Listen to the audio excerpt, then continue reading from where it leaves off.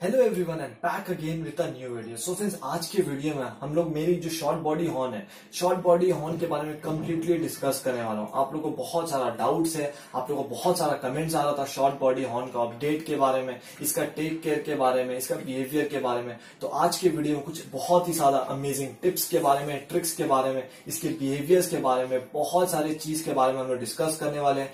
आज का वीडियो जो कम्प्लीटली मेरे शॉर्ट बॉडी हॉर्न के ऊपर में है, इसलिए ये वीडियो को पूरा देखेगा बट आज का वीडियो स्टार्ट करने से पहले, अगर आप मेरे चैनल पर न्यू है तो प्लीज़ मेरे चैनल को सब्सक्राइब कीजिएगा। उसके साथ ही साथ नोटिफिकेशन बेल को ऑन रखिएगा, जिससे कि आपको मेरा आने वाला हर वीडियो का अपडेट मिलता रहे। तो चलिए अब आज का वीडियो शुरू करते हैं। तो चलिए अब बात करते हैं शॉर्ट बॉडी हॉर्न के बारे में, जो कि मेरे पास है। ये हमेशा मेरे पीछे रहती है।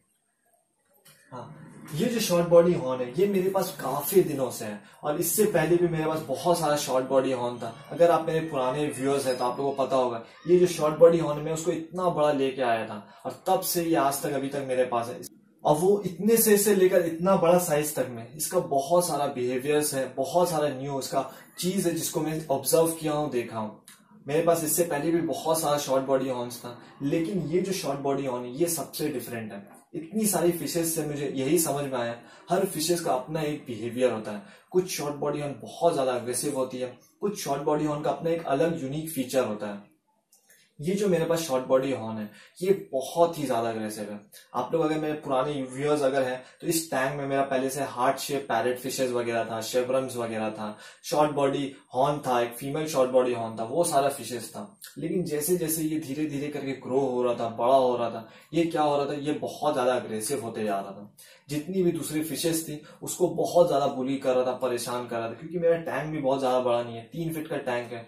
तो वो स्टार्टिंग के टाइम पे छोटा जब लोग था तो बहुत ही इजिली उस टैंक पे रह गया लेकिन जैसे जैसे ये फ़िश मेरा बड़ा होते गया, ये बहुत ही ज़्यादा अग्रेसिव हो गया दूसरे फिशेस के ऊपर। और फिर मुझे धीरे धीरे करके जितना भी बाकी फिशेस था, वो सबको इससे सेपरेट करना पड़ा। और एट दी एंड ये अकेला हो गया। इस फ़िश का अपना एक बहुत ही यूनिक फीचर है, बहुत ही इसका अच्छा बिहेवियर है। ये बहुत ही ज़्यादा इंटरेक्ट करता है अपने ओनर के साथ, बहुत ही ज़्यादा। ये एकदम कभी कभी इसको अगर आप फूड्स देने के लिए आइएगा, बहुत ज़्यादा एक्साइटेड हो जाता है। आप अगर पेलेट्स वगैरह दीजिएगा तो टैंक से कम से कम दो तीन इंच ऊपर तक आ जाता है जंप करके फूड्स वगैरह एक्सेप्ट करने के लिए। इतना ज़्यादा एक्साइटेड हो जाता है कभी कभी मुझे देख के। बहुत ही ज़्यादा प्लेफुल फ़िश है, बहुत ही ज़्यादा एक्टिव फ़िश है। इस फ़िश को अगर आप अपने टैंक पे रखिएगा, आपको जो भी एक्सपीरियंस है, वो बहुत ही ज़्यादा अच्छा होने वाला है।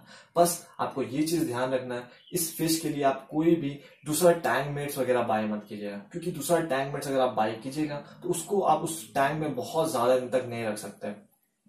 जैसे कि मैं इस फ़िश का ब्रीडिंग वगैरह भी करता हूँ तो इसमें जो फीमेल मेरा शॉर्ट बॉडी है, उसको जब मैं डालता हूँ तो ब्रीडिंग के टाइम पे सब सही होता है। उसके बाद फिर धीरे धीरे करके दोनों में फाइट हो जाता है और फीमेल को बहुत ज़्यादा नुकसान पहुँचा देती है। इसलिए ये फ़िश जो, ये मैक्सिमम टाइम अकेले ही इसको रहना पसंद होता है।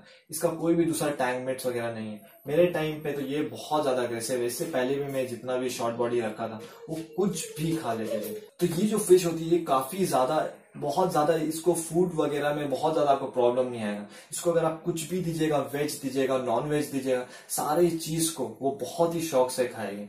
ये भी एक बहुत अच्छा क्वालिटी है इस फ़िश का, क्योंकि बहुत सारे फिशेस का तो बहुत ज़्यादा पिकी होते हैं। वो कुछ वेजीज वगैरह नहीं खाते हैं, कुछ स्पेशल पैलेट्स वगैरह अगर हम लोग देते हैं तो वो पैलेट्स वगैरह नहीं खाते हैं। लेकिन इसके साथ ऐसा कोई भी प्रॉब्लम नहीं है। ये इतना ज़्यादा अग्रेसिव है, और ये जो फ़िश है, ये सब कुछ खा लेती है। ऐसा हर शॉर्ट बॉडी हॉर्न के साथ नहीं होता है। मैं फ़र्स्ट टाइम कुछ ऐसा शॉर्ट बॉडी हॉर्न देख रहा हूँ, जो कि वेजीज वगैरह बहुत ज़्यादा शौक से खाती है नॉन वेज वगैरह बहुत ज़्यादा शौक से खाती है। और ऑलमोस्ट सभी चीज़, जो भी कुछ मैं देता हूँ, वो सारा चीज़ को ही ऑलमोस्ट खा लेती है। लेकिन इससे पहले भी मेरा बहुत सारा शॉर्ट बॉडी था वो लोग ऐसा बहुत ज़्यादा पिकी था। वो लोग कुछ कुछ चीज़ खाता था कुछ कुछ चीज़ नहीं खाता था। बहुत सारे चीज़ में वेजीज वगैरह वो लोगों को खाने में बहुत ज़्यादा प्रॉब्लम होता था। लेकिन इस फ़िश के साथ ऐसा नहीं है। ये फ़िश जो है तो ऐसा जो फ़िश होता है, वो बहुत ही कम होता है। बहुत ही रेयरली ऐसा फिशेज मिलता है। मैं देखा हूँ कि ऐसा जो फिशेज होता है, वो बहुत ही रेयरली मिलता है। बहुत सारी फ़िश बहुत ज़्यादा पिकी होती है। कुछ कुछ फिशेज इतना ज़्यादा पिकी नहीं होती है। वो लोग को कुछ भी दे दीजिएगा, वो सारे चीज़ को बहुत ज़्यादा शौक से खाएँगे। और इसीलिए, क्योंकि ये कोई भी चीज़ पे बहुत ज़्यादा पिक नहीं करती है, बहुत ज़्यादा पिकी नहीं बनती है। तो इसलिए इस फ़िश का साइज़ भी आप देख रहे हैं, बहुत ही ज़्यादा तेज़ी से ग्रो कर रहा है। इस फ़िश से रिलेटेड मेरा पहले से बहुत सारा वीडियोस है, जैसे कि मैं अपने इस सारे फिशेस को गार्लिक वगैरह का फ़ीड कर रहा था। गार्लिक वगैरह मैं कैसे फ़ीड में देता हूँ? कुछ वॉर्म्स वगैरह लाइव वॉर्म्स वगैरह दे रहा था। वो सारा वॉर्म्स वगैरह वीडियो को भी आप ज़रूर से देखिएगा। बहुत ही ज़्यादा अमेजिंग है वो सारा वीडियोस और वो सारा वीडियोस का भी लिंक आपको डिस्क्रिप्शन में मिल जाएगा। तो अगर आप एक शॉर्ट बॉडी हॉर्न बाय करने का सोच रहे हैं तो आप मेक श्योर sure कर लीजिएगा, आपको जो जो भी टैंक है, वो कम से कम एक तीन फीट का टैंक होना ही चाहिए और उस टैंक पे आपको उस फ़िश को अकेले ही रखना है। ये फ़िश बहुत ही ज़्यादा अग्रेसिव होती है। इसलिए अगर आपका एक तीन फीट का टैंक है बहुत ही कम चांस है, उस पर आप दूसरा कोई oscar fishes parrot fishes add कर सकते हैं। क्योंकि बहुत ही ज़्यादा अग्रेसिव रहेगी। अगर मे भी हो सकता है वो दूसरे फिशेस का आइस वगैरह को बाइट कर ले उसका आइस को डैमेज कर दे फिन्स वगैरह और डैमेज कर दे। मेरे साथ भी ऐसा बहुत बार हुआ है, इसलिए मैं आप लोगों को सजेस्ट कर रहा हूँ। अगर आप एक शॉर्ट बॉडी बाई करने का सोच रहे हैं तो आपको फिर इस फ़िश को कम्प्लीटली एक अलग टैंक देना होगा। इसको आप किसी भी दूसरे फिशेस के साथ नहीं रख सकते। अगर आपके साथ रह जाती है दूसरे फिशेस के साथ, बहुत बढ़िया बात है। लेकिन मुझे जितना लगता है, ये ज़्यादा दिन तक नहीं रह पाएँगे। मे भी दो महीना, तीन महीना तक रहेगी, लेकिन उसके बाद फिर से लोग का फाइट होना स्टार्ट हो जाएगा। एट दी एंड जो भी फ़िश बहुत ज़्यादा कमज़ोर पड़ेगी, उसको वो कम्प्लीटली मार के खत्म कर देंगे। इसलिए इस हेडेक पे आपको नहीं जाना है। इस फ़िश के लिए आप अकेला एक थ्री फीट का टैंक में रखें। ये फ़िश अभी भी और भी बहुत ज़्यादा बड़ी होगी। इसका सर में जो आप हम्प देख रहे हैं, ये भी थोड़ा ग्रो करेगा।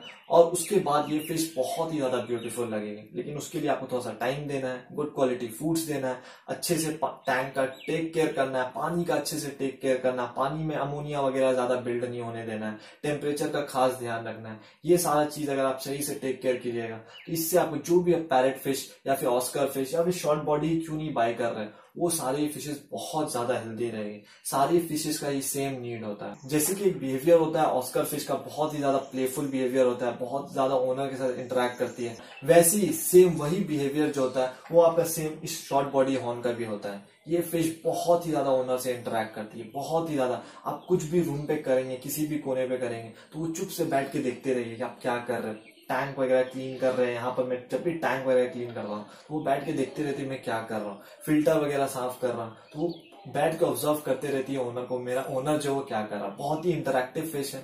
इसके साथ आपका जो भी एक्सपीरियंस है, वो बहुत ही अमेजिंग होने वाला है।